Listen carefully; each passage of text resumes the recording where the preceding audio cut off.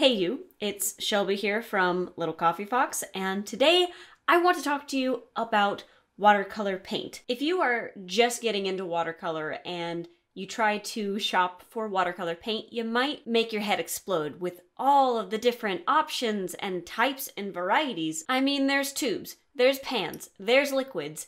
How do you know what the difference is? How do you know what's best for what you need? And when you have limited money and you can't just throw it on anything, you don't want to gamble on one type of watercolor only to find out that it's not quite right or what you expected. So today I'm going to be walking you through the differences between tube watercolors, pan watercolors, and liquid watercolors. And I'll share some of the best uses for each type of watercolor paint and a couple of really handy tips for whichever one you decide to go with. So let's get started. The first type of watercolor that I want to get into is pan watercolor, which is usually the type of watercolor that most people have their first experiences with. This is the kind of stuff that you get in grade school when you're making all kinds of cute little kid paintings and you're hanging them on the fridge and stuff. Now you might be thinking, these are just for kids, they're not for me, but pan watercolors range from stuff that's super, super basic like this, all the way to professional level watercolors. So don't worry about that. That's pretty much the case with almost all watercolors. You can usually find really, really student grade, basic, lower quality type paints, and then you can find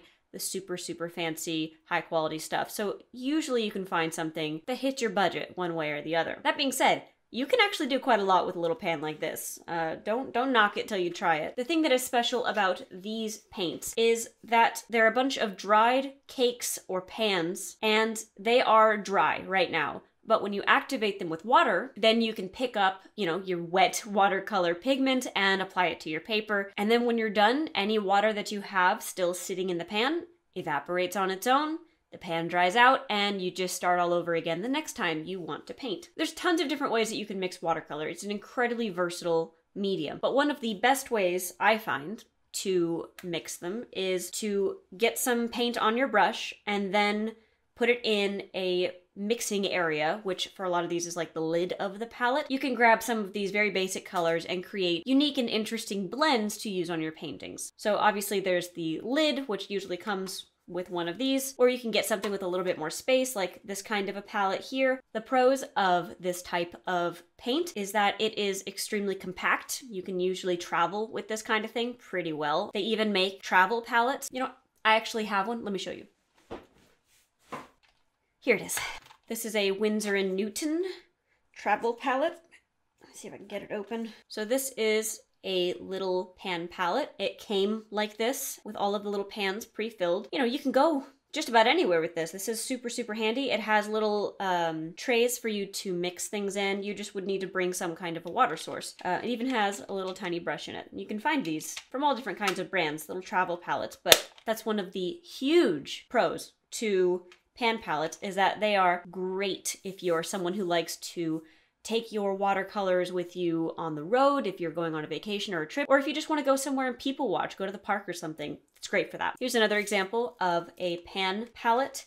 This is my Color Colorico Colorico Finetec paints. They are these gorgeous gold paints, and I've had them for a very long time. And you just hydrate them, use them, they dry out, boom, they're good. Another big pro of pan watercolors is that they're really easy to use. They're no fuss, it's all ready for you. You just use your water and your brush, you move the paint around and you put it on the paper and you use it. It's very, very user friendly. And lastly, pan watercolors are some of the more affordable for entry level. It's usually pretty easy to find something that's decent quality that doesn't break the bank. However, some of the cons of pan watercolors is that they have rather limited colors. You can obviously learn how to mix with very few basics, but it can be a little hard. So I even struggle to mix a good purple a lot of the time. So I like having a base purple and a lot of watercolor pans don't have certain colors. You know, you have a very limited set. Also, something to note is that pan watercolors can, especially cheaper pan watercolors, can be less vibrant colors. They can be a little bit harder to get a really good bold color. I mean, you can build up with layers. That's one of the joys of watercolors is you can build and build and build. But sometimes it's nice to have something a little bit more bright and vibrant right out the get-go, and cheaper watercolors can sometimes struggle with that. Not always, but sometimes. One of my best tips for pan watercolors is using a eyedropper or something like this, getting clean water and putting a couple drops in every well that I plan on using, and sometimes just every well, because I don't know what I'm going to do yet. Just a few minutes before you actually start painting, because you definitely want to give it a minute to activate let that pigment sort of get ready to go before you need it while you're painting because watercolor can be a bit of a fast-paced painting process and you don't want to have to get held up on a dry pan. The next type of paint that I want to talk about is tube watercolor paint. Tube. I feel like I say that weird. Tube.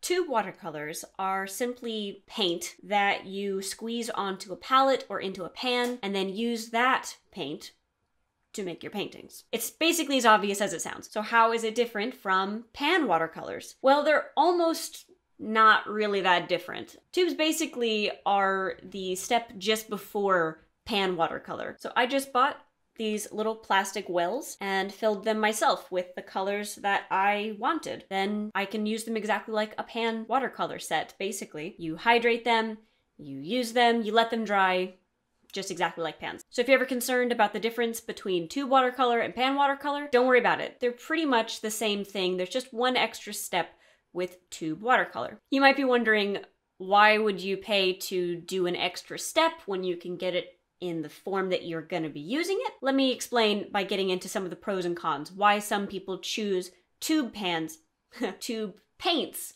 over watercolor pans. Yes. One of the biggest pros to to watercolor is that I can take a tube, fill up one of these little pans, and then use that pan until it is depleted, and then still have a ton more paint to put into uh, the pan, refill it, and do it again. Basically, you get more bang for your buck. If you know you're going to be using a color or a set of colors for a long time, then if you get yourself tube and you have a handy way of using it, like a palette that you like, you can really get a lot more miles out of one tube than a single pan. Another big pro of tube watercolors is that they tend to be pretty damn concentrated. Like, you're not gonna get wishy washy light colors, unless, of course, you chose to buy a palette that is pastel and light. But I find that whenever I use tubes and make my own palette, my own little pan palette, I think that they tend to be a little bit more concentrated and vivid. Another really big bonus to tube watercolors is that you have a lot more flexibility. Because if you're using tubes, you can mix your own custom colors. Like while the paint is still wet, use like a palette knife or something and make a custom red or purple or skin tone or whatever you want to use, and then let it dry and then have a cake of that very specific color that you made. And similarly, you can also mix and match your full palette. So I purchased these paints all individually. I decided what colors I wanted and put them together to create a single palette. Like I know I use a lot of different varieties of blue, blue, green, turquoise. So instead of mixing those over and over again, I purchased the tubes that I wanted for those colors and put all of those variations that I know I'm going to use again and again in this custom palette. So all of that is what makes watercolor tube paint one of my favorite ways to use watercolors. That being said, there are some downsides. So while you certainly can purchase individual tubes, that does tend to be reserved for higher end watercolors. For example, these are Daniel Smith watercolors, which is one of the more expensive types of watercolor paint, which great to use, but if you're a beginner, very challenging on the budget front. Cheaper tube watercolor, they tend to come in limited sets, exactly like a pan, so you're still limited in that way. Albeit you can still mix your own custom colors with the tubes that came in that limited set. So you can still make do and do some, some cool stuff with it. It's just not quite as flexible as the higher end stuff. Also, if you use a tube set, you're gonna need to buy an additional palette or something to put it on. You're gonna need to get something like this, or this is my favorite new thing, this lovely ceramic palette. Of course, you don't need to get this fancy, but you know, it's nice. Uh, but you need to buy something to put your tube paint into. You can't just use it directly on the paper. And finally, tube paint is a little bit less travel friendly unless you specifically go out and buy a small little travel pan set palette like this to fill with your tube paint. It is an extra step and it's more work for you to kind of put together something that's great for traveling and small and compact. So it's just something to think about. Big tip, big tip for using tube paint. Squeeze the tubes and put them, you know, put them in their pants, put them wherever you're putting them on your palette, and then let them dry for a couple of days before you actually use them. The reason why is because when the paint is still in its wet form, original wet form, a lot of paint gets wasted on the brush and in the jar rather than being used properly on the page. So the best practice is to just squeeze it into your pans and then let it dry for a couple of days until it's a proper little cake. Finally, I want to talk about liquid watercolors, which I didn't even know existed until a couple of years ago, and then it came into my life and amazed me because it's so different from traditional watercolors. Let me explain why. Liquid watercolors, like this Dr. P.H. Martin's Hydrus liquid watercolors, it's always a mouthful. These are super concentrated little jars of pigment. They behave the same way as the, uh, the normal watercolors that you're used to in terms of how they're used on the page and all that, but they are in a completely different form when you receive them. Oftentimes, these will have little droppers like that. The way you use these is you get some kind of a palette. I often use this kind of a guy, this little cheap six well one, or again, one that's got more options, more mixing room and all that also super cheap. I think this was like two, three dollars, like super, super cheap. But you put them in there and then you dilute them with water and use them as you would any other watercolor. So the pros of liquid watercolors is, for one, like I said, super concentrated, like crazy concentrated, or at least that's the case with Dr. P.H. Martin's. I, I don't know about everything else, but these are billed as very concentrated watercolors. And because these are already liquid, you don't have to make them into liquids or anything, they blend so smoothly with each other. The different colors blend beautifully and just buttery. Buttery. Very nice. And lastly, these bad boys are super long lasting. I've had several of these jars, several of these bottles for years, and I feel like I've barely made a dent because they're so concentrated. You have to use very little to get what you're actually trying to achieve. These types of paints are fantastic if you like to use nibs like dip pens with your watercolor, whether you're doing line work, whether you're doing calligraphy. These are perfect for that use. I've loved using them for lettering. And also because they blend so beautifully, that makes them even better for lettering because they make some really gorgeous pops of color on your lettering project and they blend really nicely with each other. So I I love them for that use especially. Now, some of the cons. They are the least travel friendly types of watercolors I have found because they are not super consistent on the rehydration. I dropped a bunch of them into this palette that I've opened a thousand times already. These are all Dr. P.H. Martin's, and I found that some of them hydrate fine, but that's not necessarily the case for each color. I've noticed that some of the colors get really crumbly. They're not lovely liquids anymore once you try to rehydrate them after they've dried. So I find that these are basically impossible to travel with and and be able to rely on them to rehydrate the same way that pans or tubes would do. So yeah, I don't like them for travel at all. Would not recommend. Also, I've had some problems with some of the paints becoming congealed and really thick and basically unusable in the tube. They have become clumpy and kind of gross. Like it doesn't really like slosh around anymore. It kind of sludges around in here. And it's not all the colors by all means. Um, it's a handful of colors, but it is really disappointing because, you know, I've only had these for maybe four years, like not that ridiculously long. Whereas I have had this pan watercolor set for about the same amount of time. I'm pretty sure I bought them about the same time, and I've had no problems with it being usable and reliable several years down the line. And it sucks that some of these Dr. P.H. Martin's paints have sort of dried up and become gross. And of course, that could just be Dr. P.H. Martin's. They're one of the only brands that I've really used. Take it with a grain of salt, but it's just something that I have experienced on more than one color. It's just something to keep in mind. I've also found that, at least again, Dr. P.H. Martin's tend to come in sets of colors rather than individual bottles. However, Ecolines, these two colors I did buy individually, so I imagine that varies from brand to brand, but it's something to keep in mind. Again, with the limited palette versus the full palette of the all the colors that you want, uh, you know, you might have to pay a little bit more to get all the colors that you want, and you might get some colors that you don't need. And one little tip if you want to try to use liquid watercolors, definitely use some kind of a palette like this and add a few drops of water with something like a little eyedropper so that you can get different levels of dilution with your paint because, as I've said, crazy concentrated, super concentrated. Uh, that gives you better control overall as you're painting. You can always add more pigment. It's really hard to remove pigment. In conclusion, all of these are really good options depending on what kind of project you're wanting to do. If you are a complete beginner, you're just getting started, the whole thing overwhelms you, don't be shy about getting a super cheap Prang or Crayola watercolor pan set like what you'd get for a kid because one of the problems that a lot of artists have especially as they're getting started, is they are afraid to use their supplies. They spend money on them and they don't want to waste them making something terrible. But if you buy something that's like three bucks, the pressure's kind of off. You don't have to worry so much about making something beautiful. You can make crap and make crap again and learn that way, which is the best way to do it, really. And you can get a little bit more versatility out of that than you might imagine. You just have to learn some of the basic color theory and you know, understand how to mix paint to get what you want. But that's a great way to practice with very low stakes and just have fun with it because you don't need to have it be super serious. Painting is supposed to be fun. If you are wanting to invest in something a little bit nicer, get something that's within your budget. Don't go crazy buying something. It's not the paint that makes the artist, it's the practice, it's the artist. Paint is nice.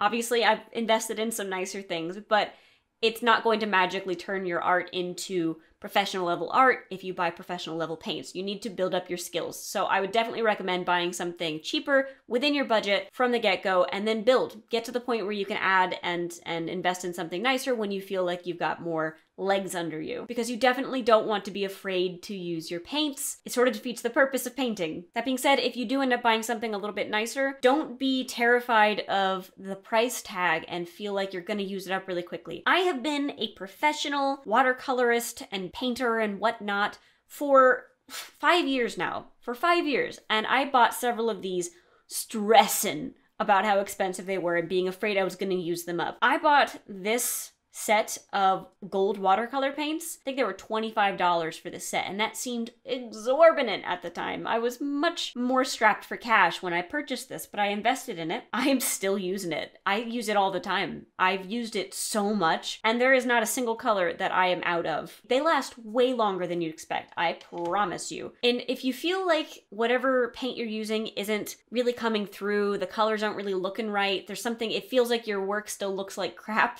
even though you've bought a decent set of paint, make sure to check that the actual paper is decent quality. The paper is the foundation of your art. If you have crap paper, it doesn't matter. You could throw gold encrusted paint on that thing and it will still probably look like crap because the paper wasn't meant for that kind of a medium. So either use cheap watercolor paper like Strathmore Canson, the standard brands that you can find, or get a mixed media sketchbook to do it because it might not be quite as high quality as watercolor paper, but it's able to take something as wet as watercolor and still give you good results. It will still be able to show you what you were trying to achieve. Also, I really like using a mixed media sketchbook because again, lower stakes. It doesn't feel like it's a a grand piece of art. It's just a sketchbook. You know, you can kind of you can mess up and and make a bunch of crap and turn the page and voila, new page. Great. Sketchbook. Doesn't matter. But at the end of the day, I know I've said this before. I'm gonna say it again. Don't be afraid to use your paint. Don't be afraid to make bad art. You might feel like anything that you make is going to probably not be very good and you don't want to waste your nice supplies on something that's going to be terrible. But even if it is terrible, it's not wasted. The only paint that is wasted is the paint that remains in your tube or pan or bottle or whatever. You buy these things to use them so don't treat them as something sacred. Use your paint. Make something and then make something better tomorrow and then continue to grow because that's the only way you're going to get better as an artist is by committing to making a mess even if it's terrible. Anyway, I hope this cleared up some of the confusion that you may have had about the differences between these different paints and what they're good for. Hopefully you're able to move forward with picking a particular form of paint that is going to be good for you as you move forward as an artist. Thank you so much for watching. Don't know why I did that. Uh, have a wonderful day and make sure to check out some of my other videos if you're interested. You know the whole spiel. Like, subscribe, whatever. Do whatever you want. Uh, but either way, I appreciate you watching and uh, I'll catch you later. Bye.